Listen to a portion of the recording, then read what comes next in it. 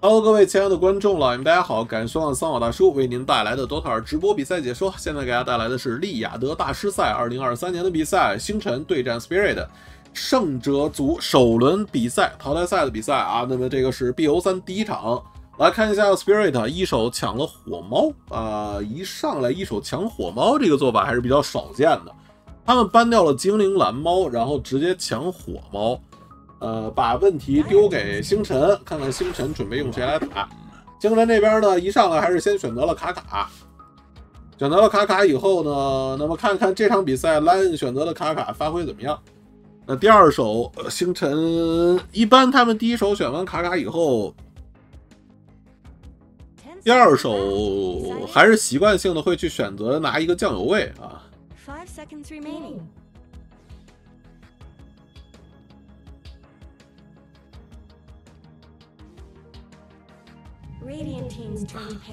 习惯性的拿一个啊，他拿了三号位，拿了三号位叉叉 S 的勇蜘蛛，嗯，比较强调一个对线，仍然比较强调一个对线。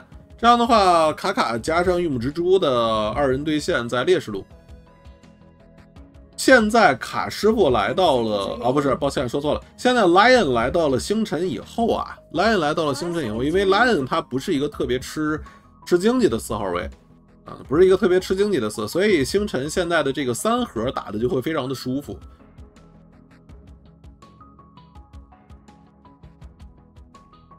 大叔，现在毒龙强吗？现在毒龙不强不强。哈斯卡打爆火猫完事儿。呃，哈斯卡这个英雄要选的话，放在最后一手坑对方一个班位比较合理。话说 Spirit 会用蝙蝠骑士吗？Spirit 的蝙蝠骑士没有人用，确实没有人用。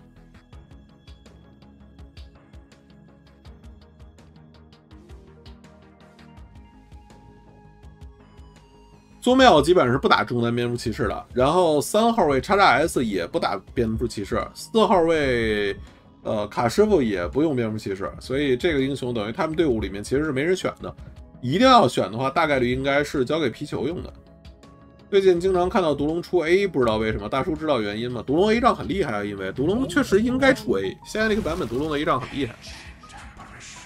第二手拿了个 AA 是什么战术啊？这个战术没见过呀。AA 这个英雄。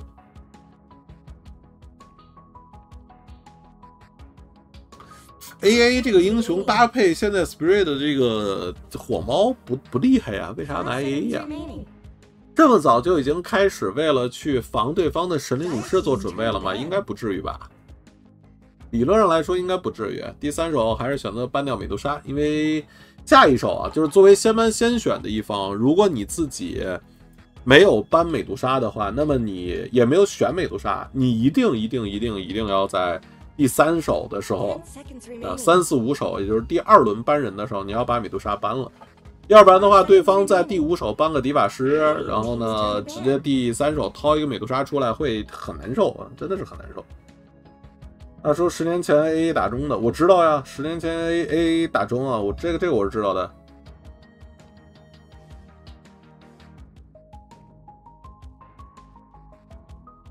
Ten seconds remaining. Seconds remaining.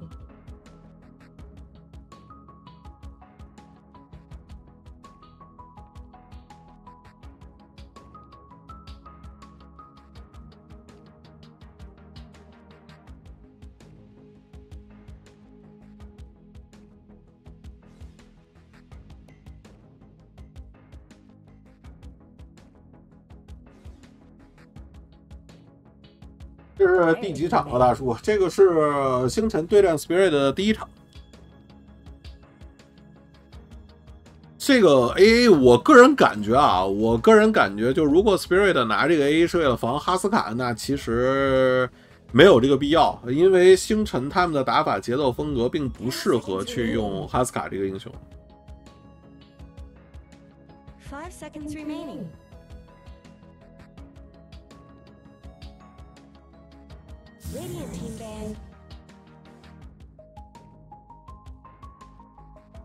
从后续的搬人来看的话，星辰搬了马尔斯和小娜迦，搬马尔斯和小娜迦，这是一个要拿远程 C 的架势。莫奈的远敏 C 应该就是火枪和小黑，这两个英雄里边以小黑为主要的选择，火枪不作为一个主要选择。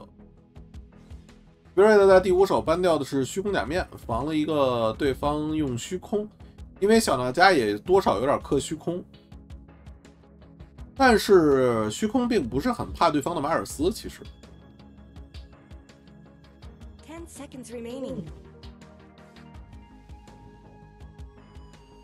一号位 TA 的概率不是特别高，莫奈现在并不是很喜欢去打一号位的 TA。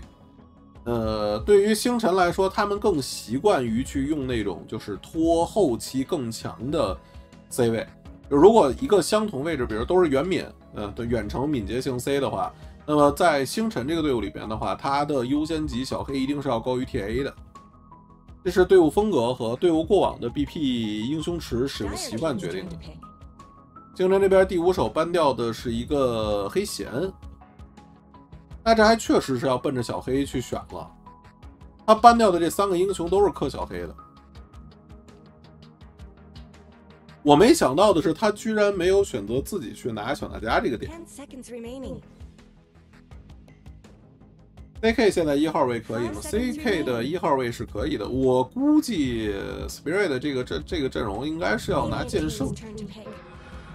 先拿一个拉比克，先拿一手拉比克来观察一下对方想要用什么英雄。我估计 Spirit 的这个阵容是要奔着拉比克拿，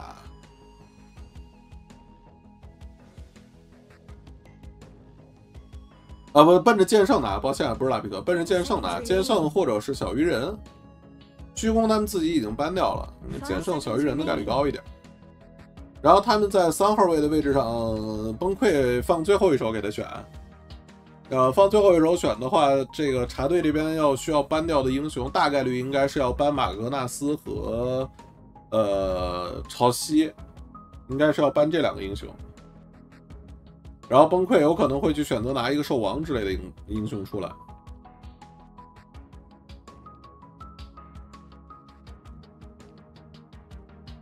那说为什么这次比赛没人用幽鬼？幽鬼现在不厉害，单纯不厉害。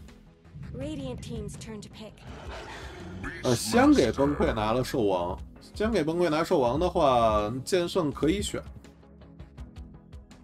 或者是他们也可以选择第四手先拿一个酱油出来，然后把剑圣留给对方去搬。如果他们选择把剑圣留给对方搬，也就意味着他们这个最后一手的英雄会非常非常非常的坑人。因为他们拿了一个 AA 五号位的 AA，配合一些比较坑人的一号位，是能搞出来很多事情的。拿了一个光法来给火猫去进行一个回蓝操作，回蓝减 CD，可以让火猫的无影拳用的非常的爽。等不到其他的远程小骷髅可能吗？嗯，星辰这个阵容选克林克兹的话，目前来看阵容不太搭。万一是中单炮台 A，那这个不可能。中单炮台 A A 这个版本在职业比赛里边选中单炮台 A A 基本上跟认输没有什么区别。那说什么英雄能飞跃马尔斯的墙吗？大多数有 Z 轴高度移动的英雄都可以都可以移动，都可以出去。这场比赛拿出了 TA，TA 这个英雄应该是交给苏梅奥去打中的。现在两边都是差一个一号位，呃，星辰肯定是要搬剑圣的。瑞瑞的选择是搬掉了一个帕克，他们应该是在他们的这个统计里面认为对方拿 TA 去打一号位的概率高一些。感谢大佬的三十新台币，谢谢老板。大叔大叔，自从买了 The Fight Rat 这个音乐包，每次玩游戏我都想睡觉，太可怕了。呃，自己玩游戏建议不要跟主播用同样的音乐包，尤其是我这种主播。因为你你听见这个声音，你就会想睡觉的，它会形成一个比较标准的条件反射。这个莱恩是五号位，不是这个莱恩是卡师傅的四号位，然后拉比克是五号位。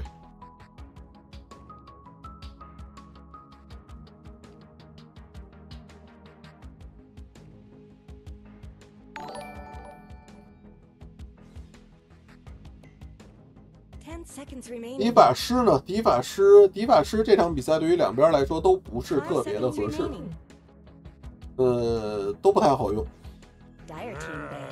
最后一手 Spirit 搬掉了血魔，血魔这个英雄被搬掉了的话，呃，Spirit Spirit 现有的四个英雄其实都不怕血魔，相反，他们自己倒是挺适合拿一个血魔的，因为对方有个 TA，还有一个玉木蜘蛛，血魔打这两个英雄的效果都不错。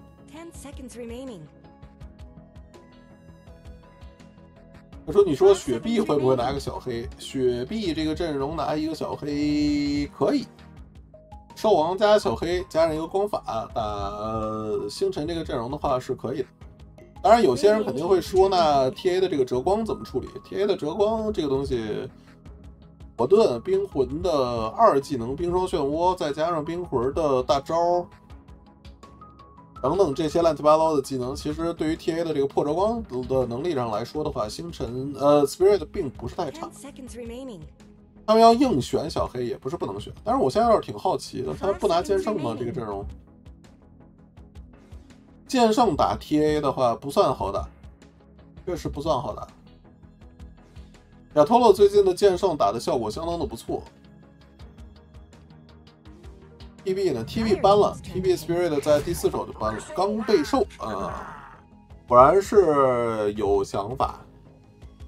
我看着他这个阵容，感觉他好像就要搞事情，因为他在第四五手，呃，第三四手拿出来兽王加光法，第二手拿出来了 AA，这个阵容组合，其实在一号位的位置上，一般来说应该要搭一些控制，就是骷髅王啊，什么 CK 啊等等这种英雄会比较好，但是这些英雄现在太过于弱势了。所以我怀疑 Spirit 要去选择拿一个剑圣，但是他们又一直不选，想拿着这个剑圣去坑星辰的班位，然后星辰又没上当，我就不选，就不搬。他搬掉的是巨魔战将和小鱼，Spirit 最后一手拿了个钢背兽，但是这个钢背兽，我感觉这个钢背兽拿的很瞎呀。他们是有什么极其特殊的打法节奏吗？光法加钢背这个光珠组合倒是一个比较常见的东西。真拿克林克兹啊！我的天！虽然莫奈是个老老老的克林克兹玩家了，但是现在克林克兹这场比赛这个阵容你控制太少了，这个队伍就俩点控，两两个英雄有点控，其他人没控制了。呃，钢背兽，而且这场比赛这个钢背兽选的，我反正觉得是，呃，就是非常差，非常差。因为 PA 真的可以做大引刀，而且很适合做大引刀。T A 的大引刀破隐击再加上隐匿击两个技能叠在一起的话，就是不管你什么装备的钢背兽，基本上一刀上去半血都没了，三分之一到半血就没了。但是星辰整体的阵容好脆，他这个阵容真的好脆。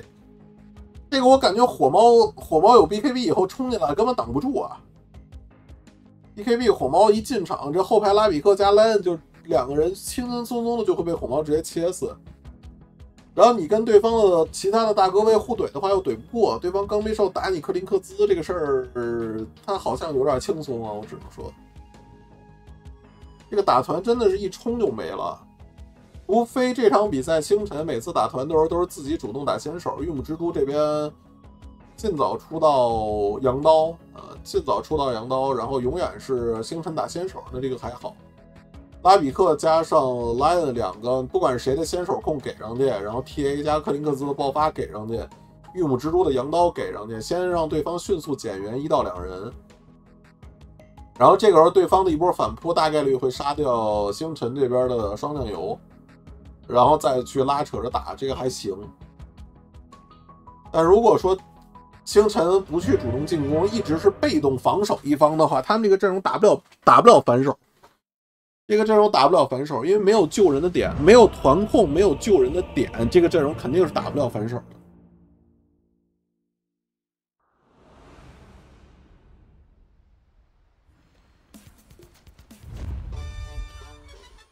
对线期的话，刚被兽大战玉母蜘蛛，中单 TA 打火猫应该是还可以的。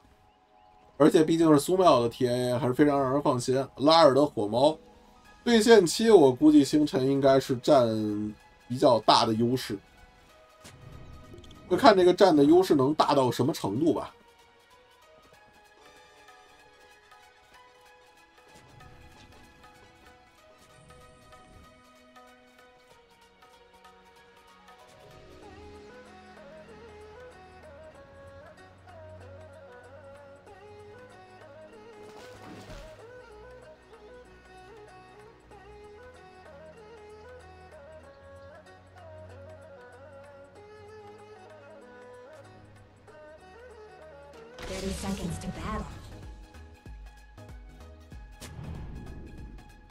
有卡卡进攻性应该有保障吧？嗯，有卡卡进攻性肯定是有保障的，但是这个阵容不是单纯说卡卡一个人的控制够的，他需要至少是三个人以上的联动才有可能形成一个比较，呃，就是比较有保障的一个击杀。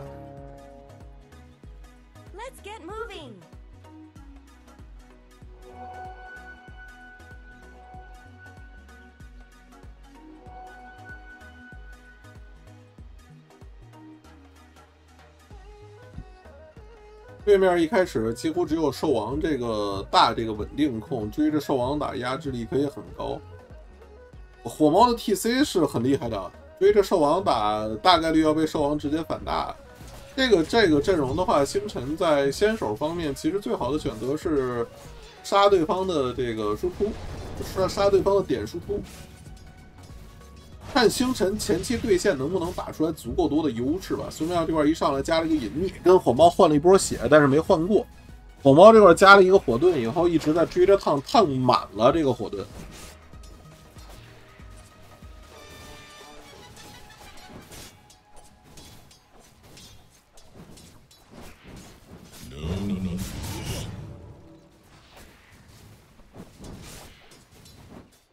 一块无影拳想躲没躲开，莱恩过来跟 A 对 A 一波。卡师傅前期其实他是 A 不过这个 A 这个英雄的，A A 前期的对 A 跟这个莱恩相比的话，因为有极寒之处这个技能的一个加成，呃，他跟莱恩对比其实他是占便宜的，而且 A A 有一个优势是射程，他有六百七十五的攻击距离，他的攻击距离是全刀塔二仅次于炸弹人的初始攻击距离，他比那个呃。丽娜还要远，丽娜是六百七，A A 是六百七十五，还是仅次于炸弹人的存在。而且他的极寒之处这个技能还能够再给他增加一些攻击距离。哦，要死要死，漂亮！这个米波哈卡的 A A 我其实不是很理解他为什么一直不用这个三技能。他这个三技能可能是觉得伤害太低了，性价比不高，所以一直不用。他一直不用啊，跟这个 Lion 对 A 的时候，确实一级的极寒之术三十点，浩蓝只有四十点伤害，这个性价比确实低了点。但是如果你不用这个技能的话，那你可以不加他呀，你可以不加他呀。他很长时间都是不用这个技能的。好，上路这边有机会可以杀吗？伤害还是差了一点点。克林格兹现在是十一杠三的一个正反补，中路这个 TA 被火猫打爆了。火猫在游戏的初期靠着自己的这个火盾来消耗 TA，这个事儿本身，呃，TA 没有什么办法，因为他破不了这个火盾。但是呢，这场比赛主要的问题在于苏妙第一波一上来就跟对方的火猫去进行换血的这个操作。不太划算，他直接越兵线过去给隐匿一击，然后对方直接开火盾来去跟着对着消耗，结果是被对手消耗掉的血量比自己消耗掉对方的血量大概多了一倍多，导致后续的这个补给和血量一直是有劣势。中路是一个太容易被滚雪球的地方，下路的钢背兽现在也是一个无解肥，那么对方的兽王在上路发挥域的一情况比较一般。不过中路拉尔的火猫有点顺啊，现在是二级的火盾。那么 TA 嗯目前有二级的折光，TA 的折光等级上来一点以后呢，会舒服一点这个对线。TA 不是他一级的技能点点的不好的问题，是他第一，他是他一级去跟火猫对线的时候，他的这个选择出现了一点点的问题。或者说是拉尔的火猫一级在对这个 TA 上来隐匿一击换血的这个操作上面，他的选择更加的优秀。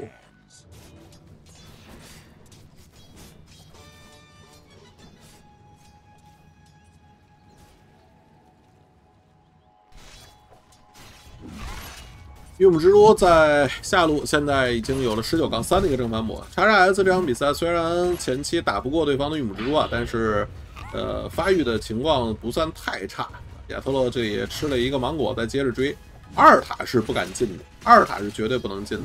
这个地方很聪明啊，亚特洛利算着自己的一个后背吸收伤害差不多了，选择是往前走了一下，利用兵线 A 自己来叠加的这个后背触发一个扫射。然后再主动放了一个扫射来去想要去击杀这个叉叉 S，不过叉叉 S 很稳，撤的距离足够远，打不着我。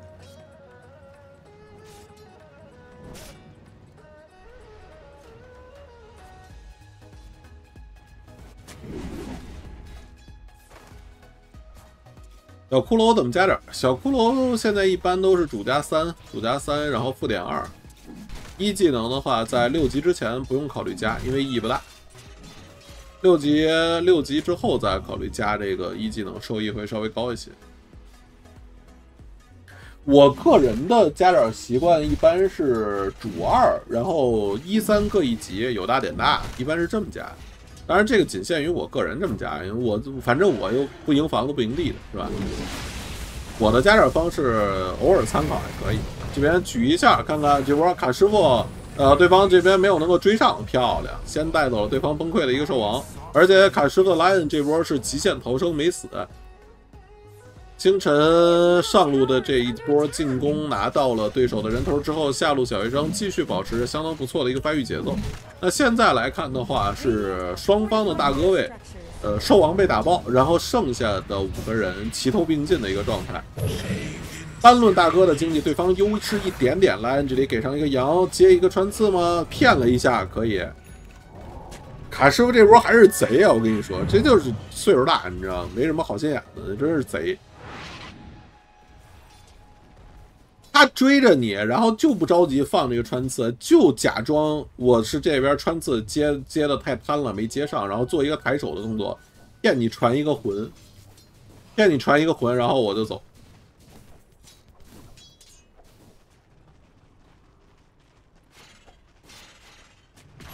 对，反正我刺到你，我也杀不掉你，所以我就干脆就是骗啊，就硬骗。亚托洛啊，这个地方追亚托洛，别别别这么追，别这么追吧，我觉得，别这么追吧，我觉得，这这么追追不死的，这么追追钢背兽前期追不死的，而且这钢背兽先做的是先锋盾。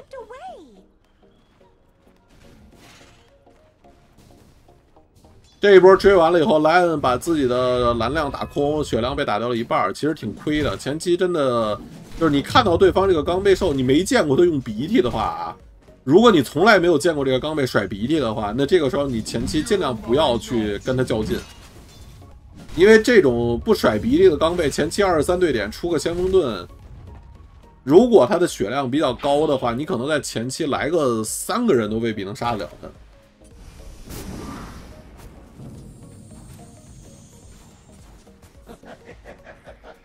上路科恩克斯的经济目前是全场第一位啊！这场比赛莫奈的发育相当的好。呃，TA 现在三千三，然后玉木蜘蛛现在三千二，中路的经济已经拉平了。TA 这个英雄在对线接，这里拉一个给上一个穿刺，哎，怎么又打他呀？A 这边过来准备反打，拉比克也来了，给个弱化能流打到猪脸上，但是这个钢背肉打不死啊！这个阶段能，你不要不要打他了，去打别人。清晨，茶队不要老是讲过来去打钢背啊，你们。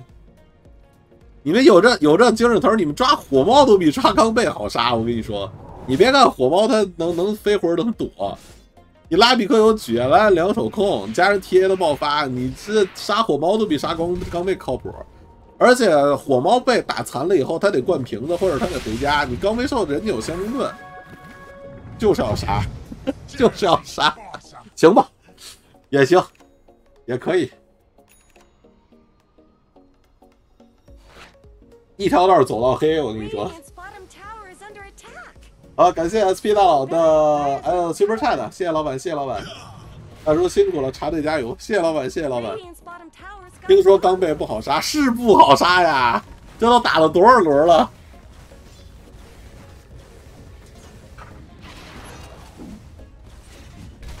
三波，三波啊！在这个地方逗留了这么长时间，终于把这钢背给弄死了一回。刚贝兽这场比赛在出完了先锋盾以后，并没有打算去增加自己的魔抗，呃，他打算还是直接去做这个相位鞋。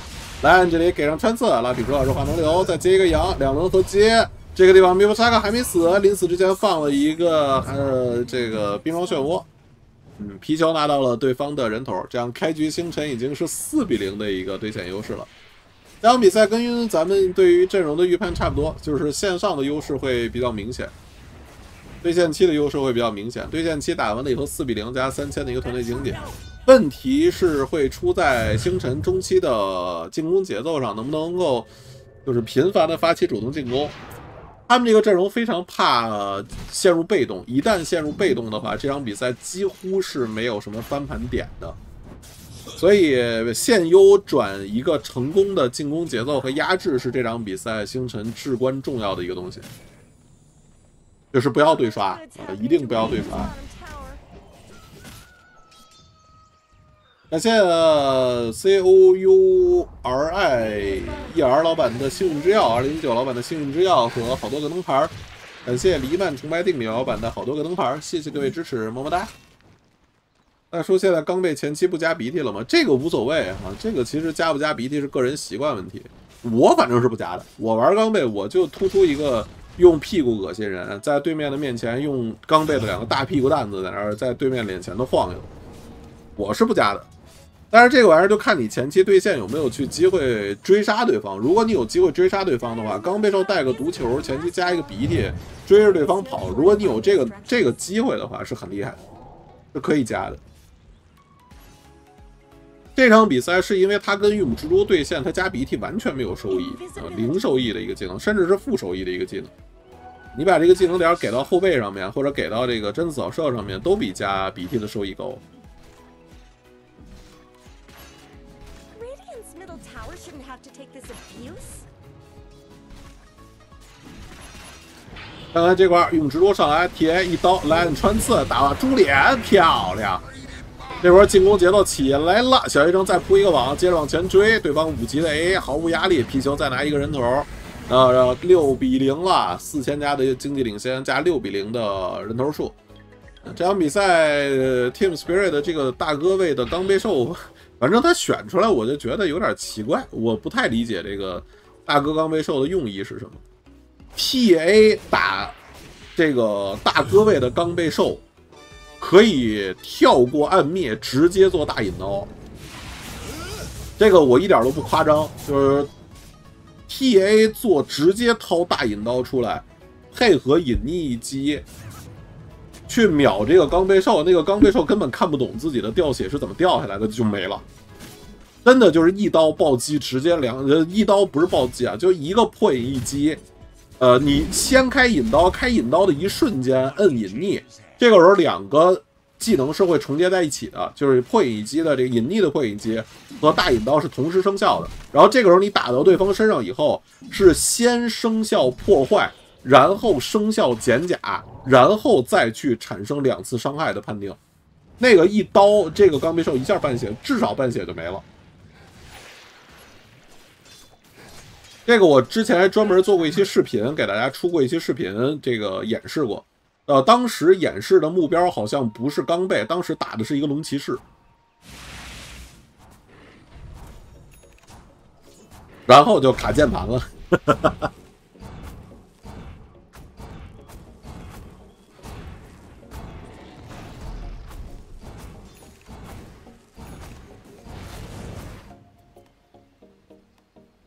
有观众说这场比赛阵容坦度不够，所以选钢背补前排。呃，如果是坦度不够的话，按照 Spirit 的这个阵容的话，他们选钢背这个东西，钢背现在不是一个坦克，一号位钢背不是个坦克。如果你想补前排的话，你需要的是三号位或者五号位去补，你不能一号位去补，一号位现在没有前排英雄。而且刚被兽打一号位都是走输出路线，就是 A 杖加上这个高等级的天赋，走的是输出路线，不是走肉肉盾路线。这场比赛你要想走肉盾路线的话，用龙骑士会是个更好的选择。龙骑士还可以和 AA 形成一个非常 nice 的 combo。龙骑士和 AA 是有 combo 的。就是跳刀龙骑出来以后，他和 A A 可以两个人去抓人，不需要其他人参与，抓一个死一个。跳端接 A A 大，然后一口火，再加几个平 A。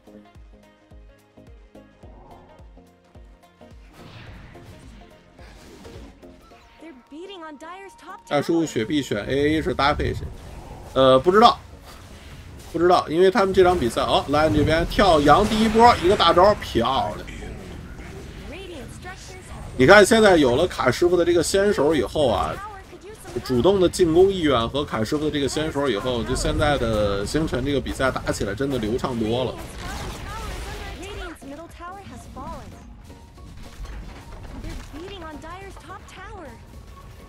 大叔 T A 引刀加隐匿蛛丝斗篷能躲几下？这个不知道，这个需要测试才知道了。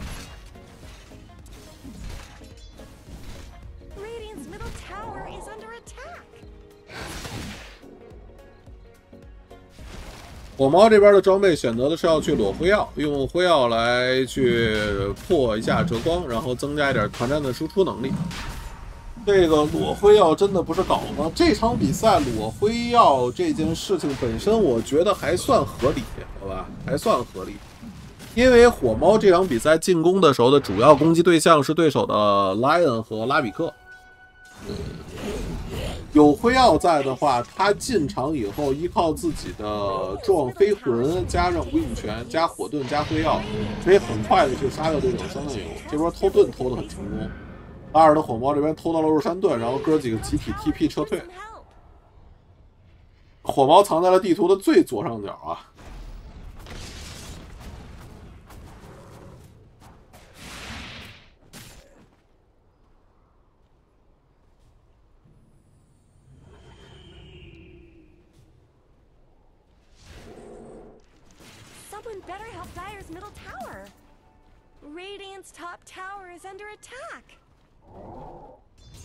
感谢四品经，这个字儿不认识啊。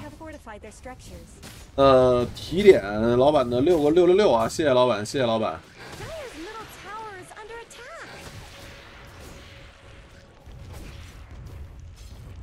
这场比赛火猫出完辉耀以后，就是直接辉耀 BKB，这个是最好的出装方式。他辉耀 BKB 以后，可以确保自己的 BKB 带辉耀能够一定击杀掉对方的双酱油后排的双法师。击杀掉这双法师的同时，他还有可能能利用自己的无影拳、呃火盾和辉耀来去消耗掉 TA 的一部分折光，然后回过头来再去打。会有一定的作用。看看这波打猪脸，莱恩给上穿刺，但是这个猪脸打不到的话，光打猪后背还是有点难杀的。亚托洛这场比赛的这个出装，我不认为他能顶得住，但是呢，这个不是现在顶不住，是过一会儿才顶不住。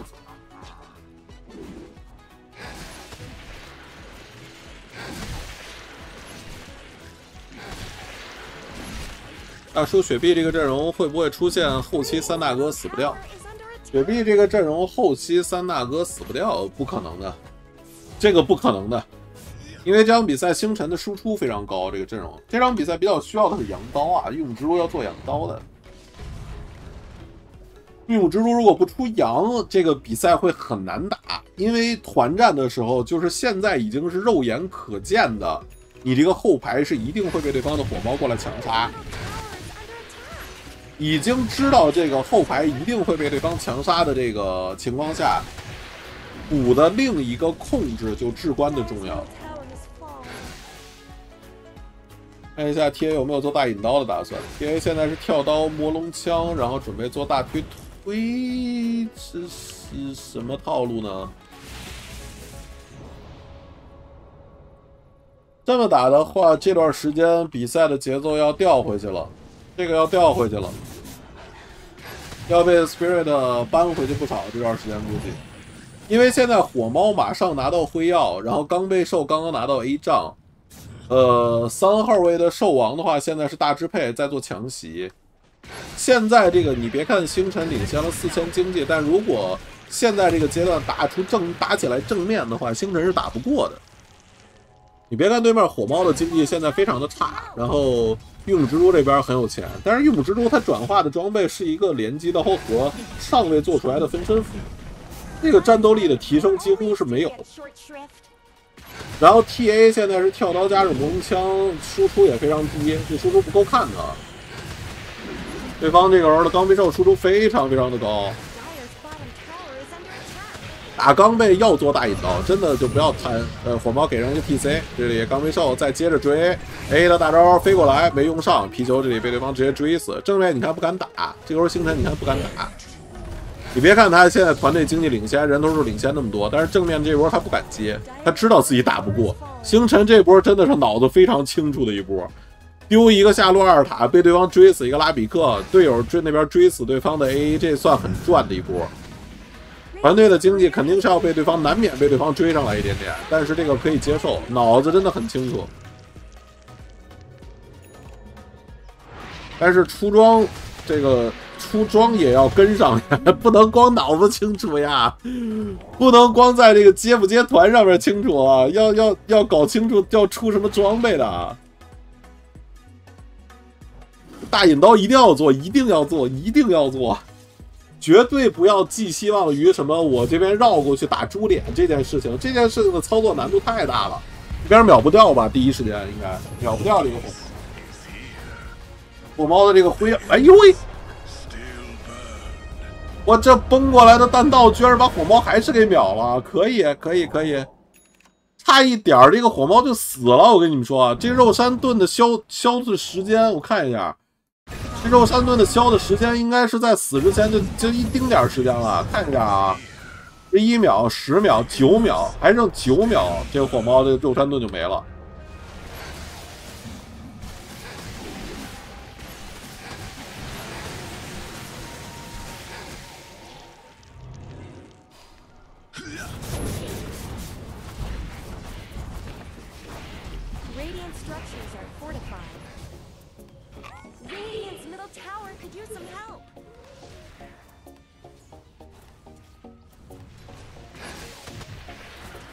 刚被下一个装备要做天堂，现在钢背兽处在一个这这这个阶段的钢背兽就是无敌啊，这个阶段简称简简简称就是无敌。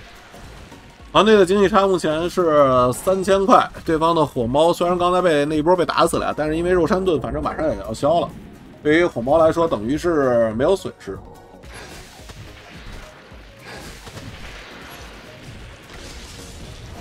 看看这玩意儿秒钢背，秒钢背，打就打钢背。你看这你没有大没有大引刀，你这真的打得死吗？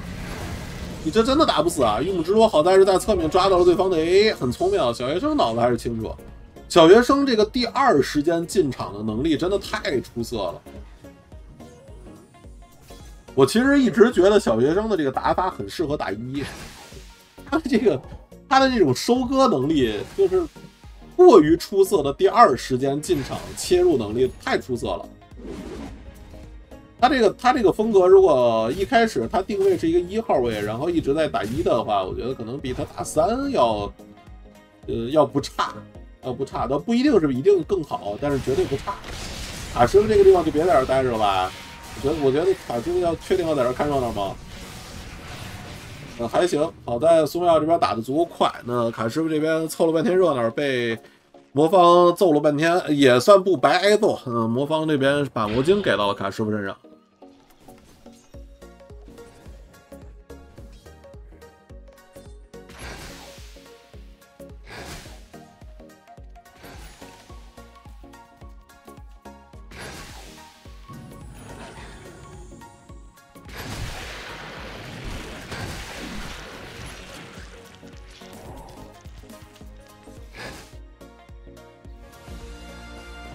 在玉木之都的经济、兽王的经济、钢贝的经济，还有 TA 以及克林克兹，基本上五个大哥还是齐头并进。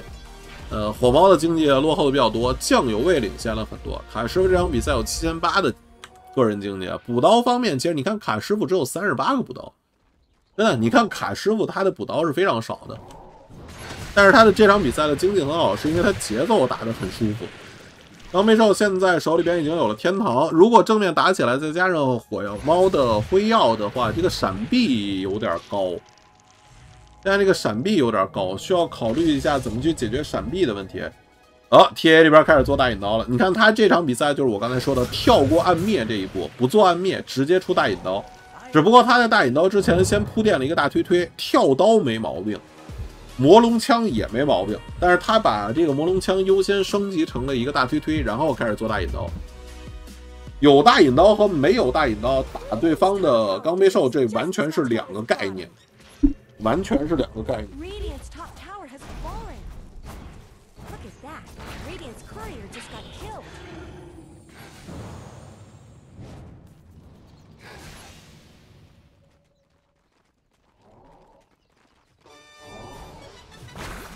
好，这边杨柱的秒火猫可以秒了，nice。秒完了以后呢，克林克斯也被对方的钢背贴过来，直接带走。那这样的话，两边的一个过一个关键点被带走。不过火猫的话，对于 Team Spirit 来说，没了以后有钢背，我仍然可以接团。但是没有了克林克斯，星辰是打不了的。星辰这波只能是选择回撤了。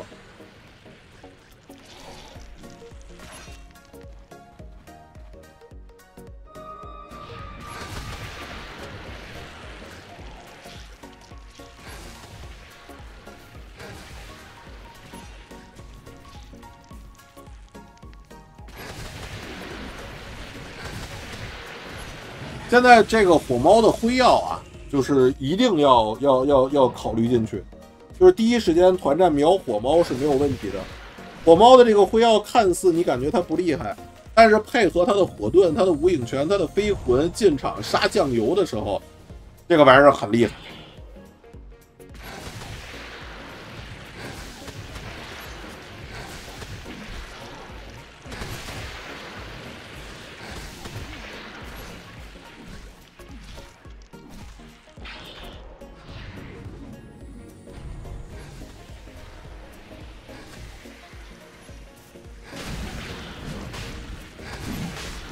Team Spirit 这一波现在人头数三比十，落后了七个人头，但是他没有办法打入山了。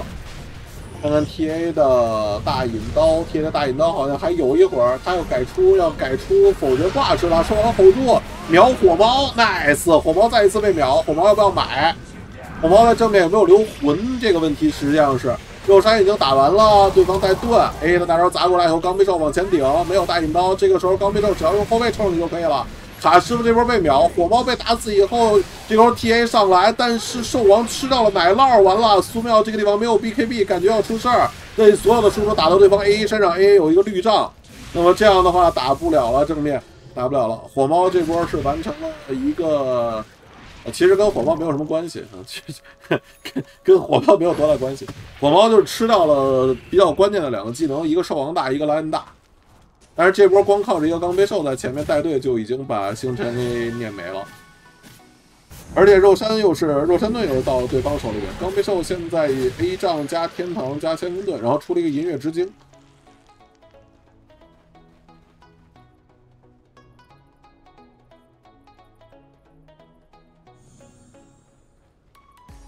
这就是为什么说辉耀蠢啊！这个跟他出不出辉耀没关系啊！你觉得他刚才这种情况？一上来被对方莱恩先手扬，然后兽王接大，莱恩接大，你觉得他出啥装备能活下来啊？那你难道第一时间为了活下来要裸一个永恒之盘吗？那可能是我在场上玩的，那那可能是我，好吧？那那应该是我。拉比克偷的兽王大吗？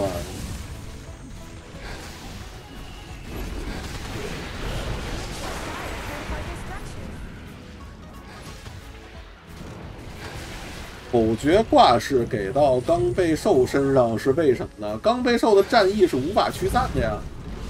打否决挂饰打掉第一条命，漂亮！这边钢背兽正好脸冲前被对方取了，这边后背再冲你，后背在后冲着的情况下是真的打不死啊。这边 A 并没有魔晶，A 并没有魔晶，A 要是有个魔晶的话会更难处理一点。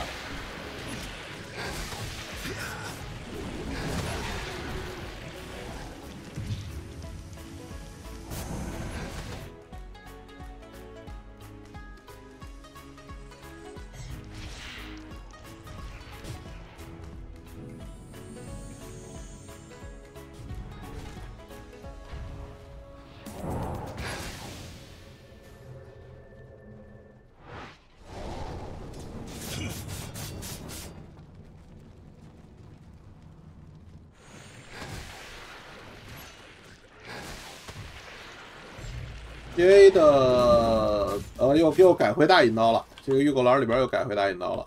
克林克兹确实不是很适合出大引刀这个道具。嗯，克林克兹做了否决暗灭，然后再加上 B K B。克林克兹这场比赛少出了一个魔龙枪，魔龙枪对克林克兹挺重要的，这个东西真的挺重要的。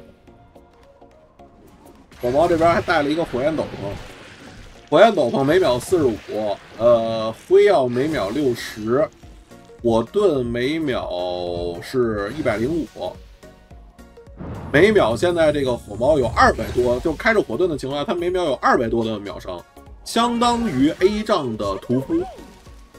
他现在的 A O E 伤害已经相当于 A 杖屠夫和三级的 T S 大招了。那说为啥双方人头数这么少啊？因因为这个 Spirit 进攻的时候，他这个阵容火猫总是第一时间被星辰抓住机会集火秒了，追人能力基本为零啊，没有火猫的情况下，追人能力为零。然后星辰进攻的时候呢，现在每次都是只能秒掉对方一个火猫，然后就开始跑，所以双方这个团战每次都是打的很热闹，技能放了一大堆，但是只能打死一两个。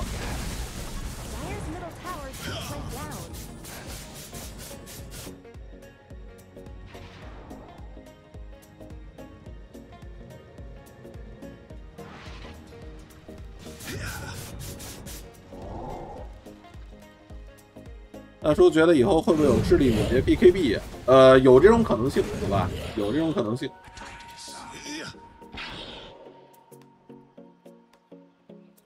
星辰的这个阵容，你能肉眼可见的就是他们的点目标秒杀能力很强，但是呢，只能秒一个，秒了，但是就一次，你知道吧？一一一一一轮就一次，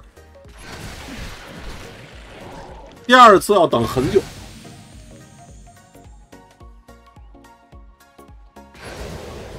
看这块兽王大招 hold 住 A 的大招砸过来，但是被躲开了，漂亮！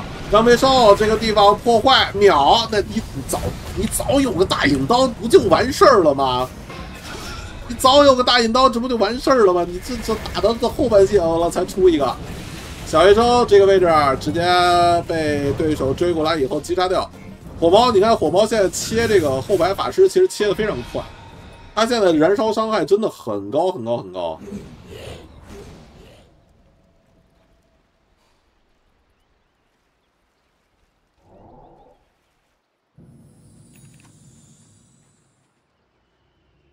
早出个大引刀不就完事儿了吗？你打这打钢背兽这种东西，有有大引刀，钢背兽就是一个废物。重要这个位置被对方火猫，哎呦，这个火猫的伤害真的有点高啊！这个辉耀太讨厌了，你看这哥俩这个血掉的好家伙，真的火猫的这个辉耀加上它的火盾，火盾的这个燃烧伤害，加上火盾的这个燃烧伤害，再加上一个火焰斗篷，这个伤害真的太高了。还出了个，哎呦，还出一个冰甲，这 A O E 伤害拉满了，我天哪！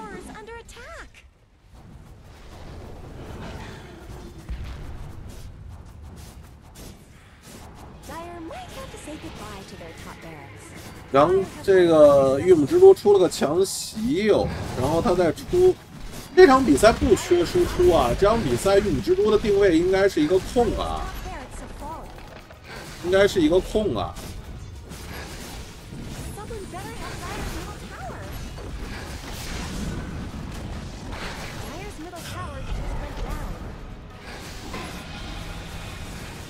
这边上路高地拆完，就直接过来拆中路高地。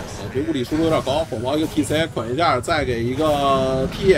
光法的这个回廊很厉害，卡师傅要被烧死了，卡师傅被烧死了要。火猫再给一个 T C，莱恩选择了马活，火猫开启 B K B 以后直接传魂开溜，甚至连 B K B 都没开就直接击杀到了一个莱恩。那么这样中路的近战兵营也被对方强行拆掉。这个玉母蜘蛛叫做羊刀的这场比赛，哎，小学生的这个输出。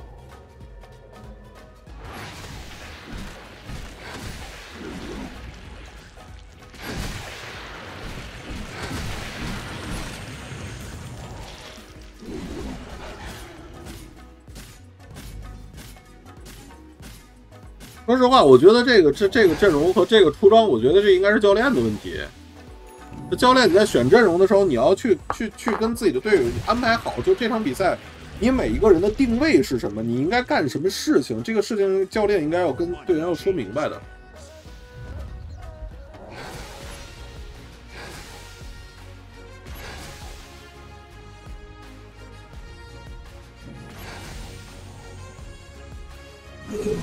这边刚被兽给上一个否决，兽王大招 hold 住，看一下这个 TA TA 这个地方直接被给上了一个缴械，打不出来输出。克林克斯跑掉了，但是莱恩再一次被秒，TA 也被对方留住，火猫可以直接随便往前切了。现在火猫无敌了，现在这接下来打就是火猫爽局。这是拉比克一个微攻披风，然后 TP，nice，这边成功的撤回去了，变火猫爽局了。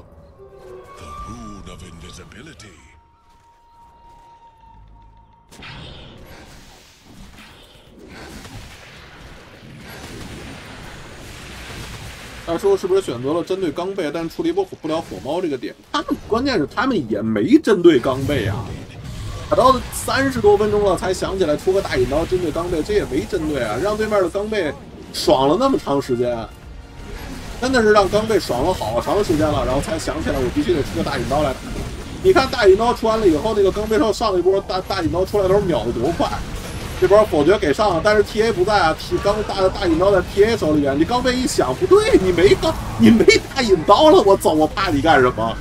直接就回头反打了。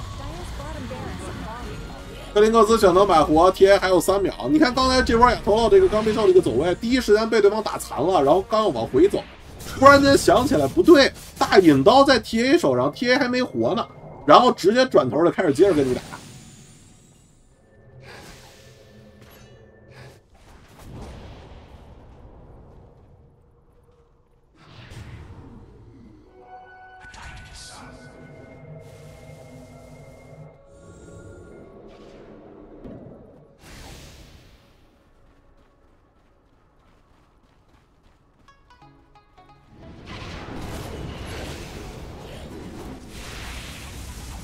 一会儿刚被二十五级带撒旦就不怕被破坏了。二十五级带一个撒旦，二十五级带撒旦就直接上去 A 人家了，就光靠 A 人吸血都打不死了。看一下钢臂兽这招身上下一个装备要做的是大引刀啊，大云锤，抱歉，大引刀说多了这场比赛。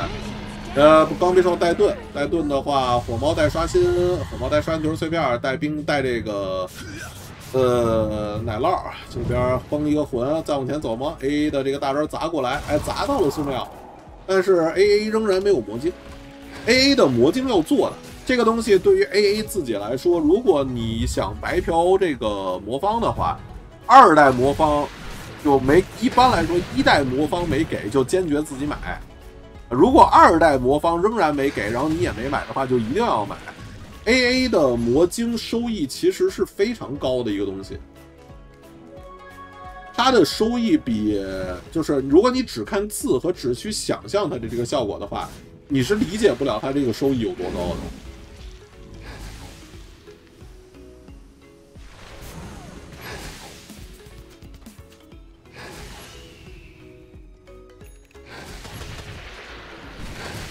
克林克兹还有一个就是星辰这场比赛，对于克林克兹这个英雄的理解也是有一些问题。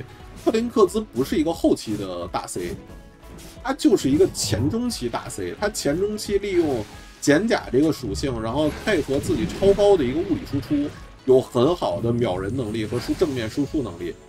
但是，一旦你往后拖，你拖到一轮伤害，你发现秒不了人的时候，克林克兹就不好使了，而且是非常不好使。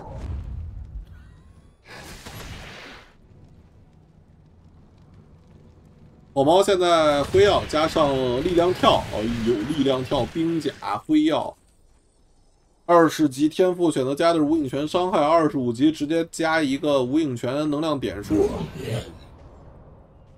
有点有点膈应了就。关键是在有这个玉母蜘蛛有光法的情况下，火猫是可以四连无影拳的，就是第一个无影拳打出去，然后开始转这个充能。回出来以后，第二个无影拳打出去，继续转充能，光法给加一口，直接转好一个无影拳，然后另外一个仍然在转充能。这边一个 T C B K B 开起来强杀，你看这个输出，你看这个火猫这个输出，看不懂了，已经直接把克林克斯切掉了三分之二血。钢必兽往前走一下，把星辰的这个塔防打出来。塔防打出来以后，钢必兽上来以后接着拆，这边打上一个破坏，但是这个破坏完了以后，钢必兽表示我有盾，然后兽王这一个大招 hold 住 TA，A 的大招砸上来，直接秒掉 GG。